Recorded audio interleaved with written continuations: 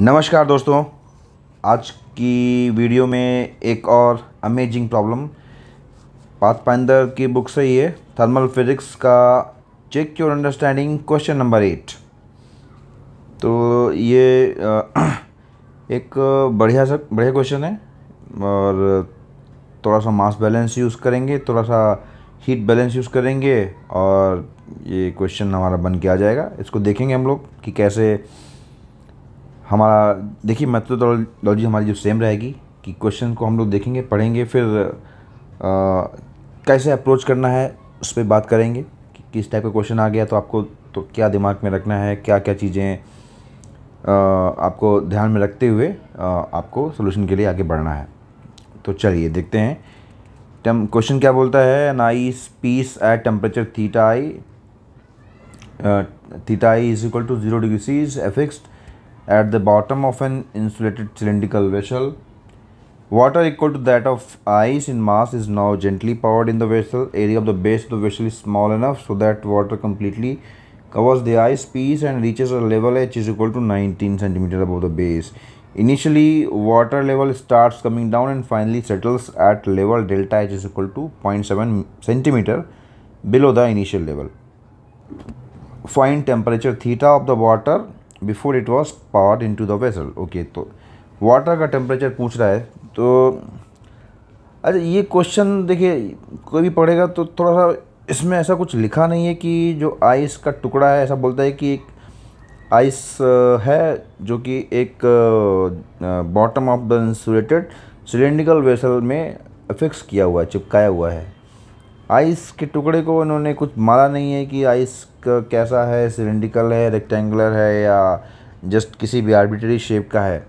तो स्टूडेंट्स या कोई भी जो बंदा सॉल्व कर रहा है इस क्वेश्चन को इनिशियली थोड़ा सा कंफ्यूज हो सकता है बट चूँकि क्वेश्चन में ऐसा कुछ दिया नहीं है तो हम लोग सेफर साइड हम लोग एज्यूम करेंगे कि भैया ये जो आइस का टुकड़ा है, ये देखिए जो आइस का टुकड़ा है, ये इसी वेसल के शेप का है और किसी हाइट एच वन होगी। इस आइस डेफिनेटली इस आइस का कुछ मास एम है।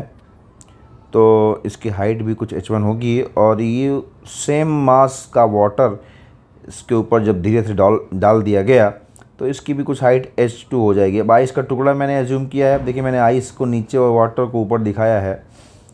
नहीं तो अगर आप देखें तो वाटर की डेंसिटी जो है, ये ज़्यादा है। वाटर की डेंसिटी ज़्यादा है आइस की डेंसिटी कम है। आइस को आइस ऊपर फ्लोट करेगा वाटर के बट चूँकि आइस लिखा हुआ है आइस इज़ फिक्स्ड तो एज्यूमिंग कि आइस को किसी चीज़ से चिपकाया हुआ होगा या आइस का टुकड़ा बॉटम से ही लगा हुआ रहेगा ये ऊपर नीचे नहीं करेगा।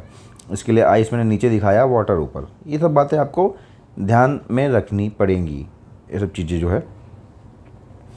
तो अभी जैसे ही मैंने आ, अच्छा क्वेश्चन ये है ठीक है? तो अभी बोलता है कि जब फाइनली स्टडी स्टेट आ गया तो जो फाइनल लेवल था देखिए ये जो वाटर लेवल की हाइट या टोटल हाइट जो एच थी आ, से डेल्टा एच मतलब point seven centimetre below the initial level आ गया। मतलब जब ये आइस कितना पिघला हमें मालूम नहीं है। आइस मेल्ट हो गया मेल्ट होकर वाटर बना तो इसका आइस का लेवल तो कम आया। वाटर का लेवल बढ़ा तो कुल मिला के जब रिजल्टेंट इसका जो आया, वो delta H is equal to point seven centimetre minus में गया मतलब इस एच से थोड़ा नीचे गया। तो बाकी चीज़ें आपको दी हुई हैं तो अब देखते हैं इस क्वेश्चन को कैसे हमको प्रोसीड करना है। प्रोसीड करने के लिए पहला चीज़ आप बोला मैंने आइस को आपको इसी वेसल के शेप का मानना पड़ेगा सिलेंडर शेप का, हम इसकी हाइट एच वन और एच टू बेसिकली देखिए, इसमें मोटा मोटा अगर आप देखें तो क्या कंसेप्ट लगेगा कि ये आइस जो है, ये पिघल रहा है और ये जो वाटर हमने डाला है, इसका मास हमको मालूम है एम है। इस आइस का मास भी मालूम है एम है। एम मालूम नहीं है, हमने एज्यूम किया है। ठीक है इक्वल मास दिया हुआ है बस। तो शायद उसकी ज़रूरत ही नहीं पड़ेगी क्वेश्चन में।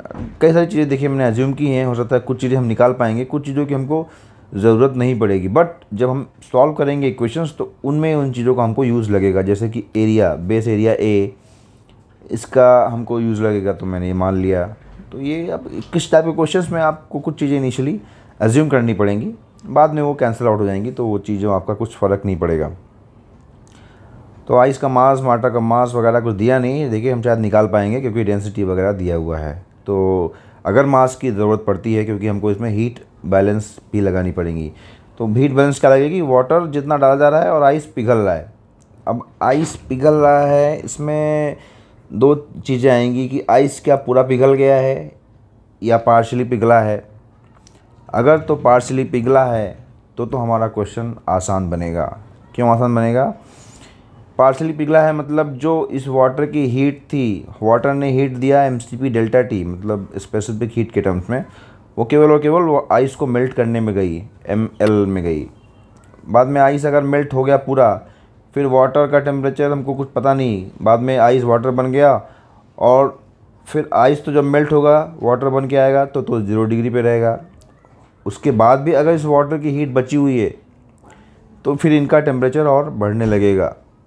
किसी एक टेम्परेचर पे आके वाटर का टेम्परेचर रुकेगा। तो थोड़ा सा हमारा क्वेश्चन डिफ़िकल्ट बन जाएगा। तो अगर तो ये आइस पूरी नहीं पिघली है तो ये क्वेश्चन हमारा थोड़ा सा रिलेटिवली सिंपल है। सिंपल मतलब थोड़ा सा कैलकुलेशन कम लगेंगे। और जो क्वेश्चन में दिया वगैरह है, उसको देख के मुझे यही लग रहा है कि शायद ये आइस पूरा नहीं पिघल रहा होगा, क्योंकि वाटर का फाइनल टेम्परेचर के बारे में इन्होंने कुछ नहीं बताया कि वाटर प्लस आइस का फाइनल टेम्परेचर कितना है ये। तो चलिए देखेंगे उसको भी। तो ठीक है, कुल मिला के हमको यही निकालना पड़ेगा इसमें। कि आइस कितनी पिघल गई एक तो? और आइस जितनी पिघली, क्या वो टोटल पिघल गई या पार्शली पिघली है? ठीक है तो उसके लिए हमको ये एच वन और एच टू निकालने पड़ेंगे।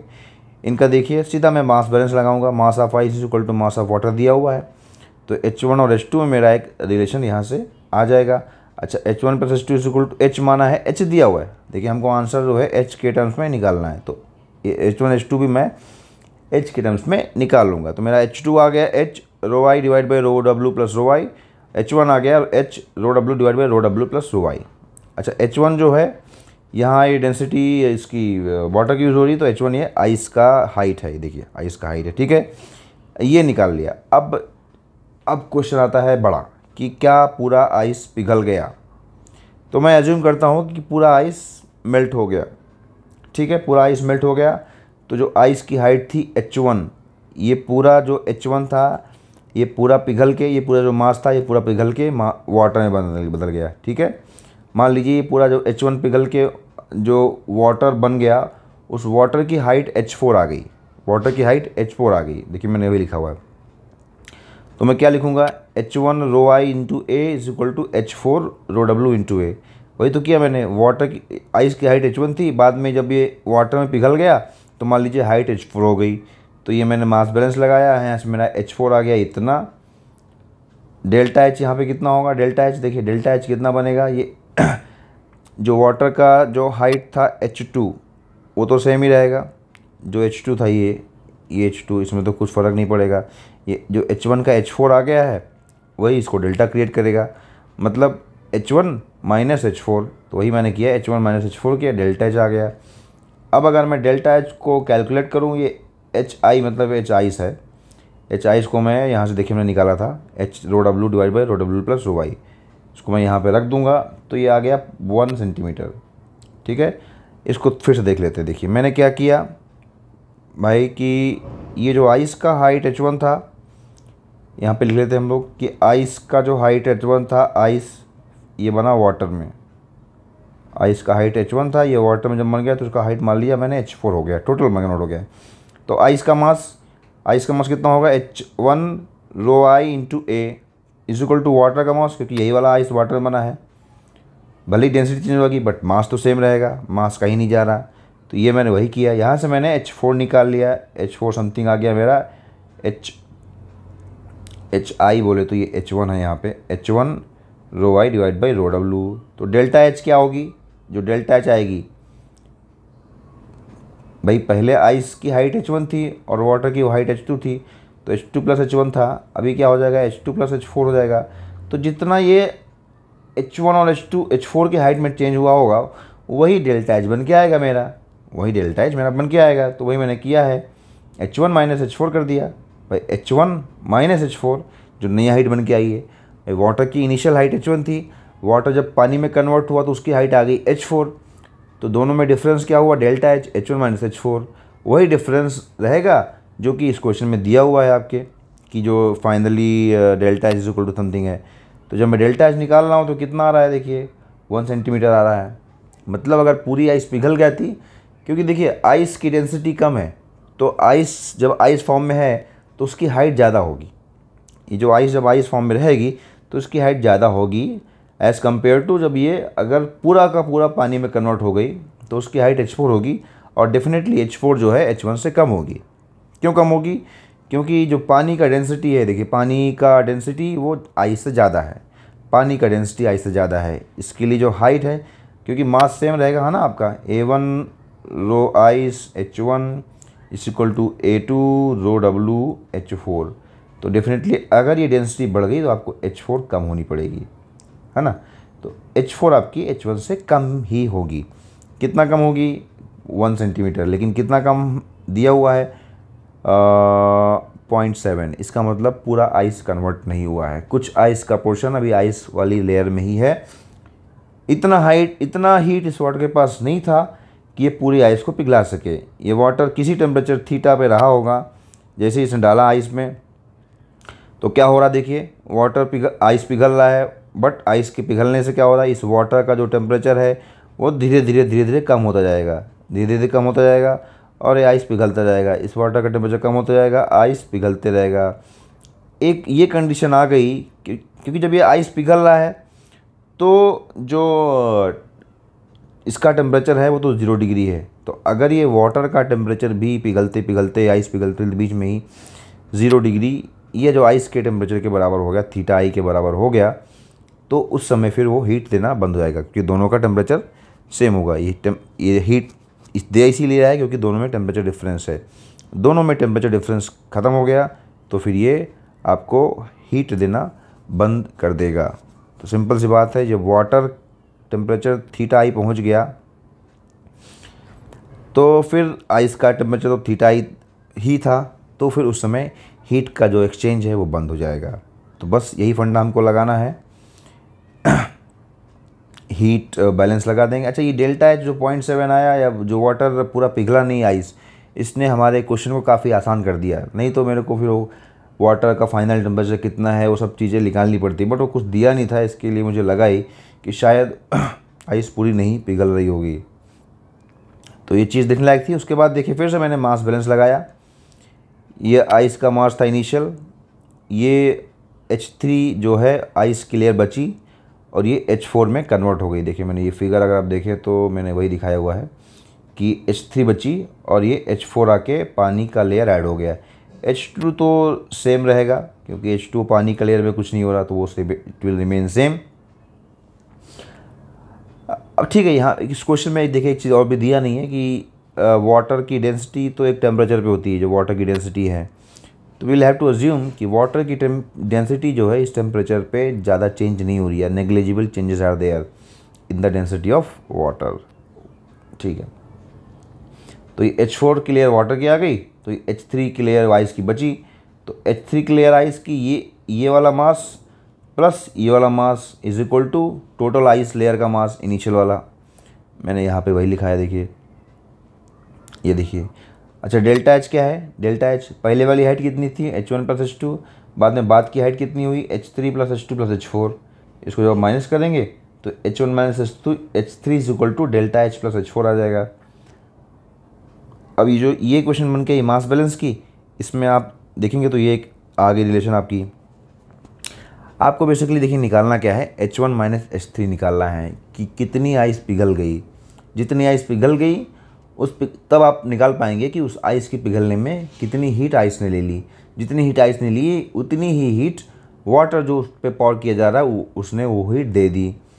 तब भी मेरा को वाटर का टेम्परेचर निकल आएगा, क्योंकि वाटर का जो हीट दिया, वो M C P delta T होगा।